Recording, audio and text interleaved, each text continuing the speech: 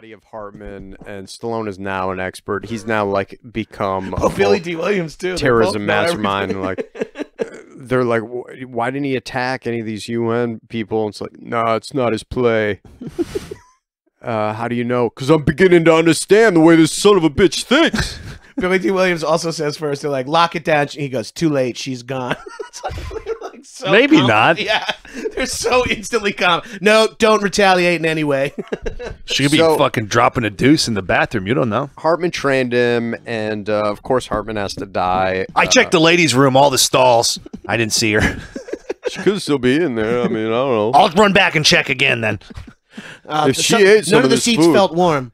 Put my face on all the seats. None of them felt warm. Face I more sniffed them than all. Man. If you have any more of Shakka's shit, I could sniff it out. I could sniff it out in the lineup. So There's just eight pieces of shits on stools, and a guy's like, "Can I number six step forward?" so Stallone. Ah, this isn't Shakka's poo poo. this ain't Shakka Kaka.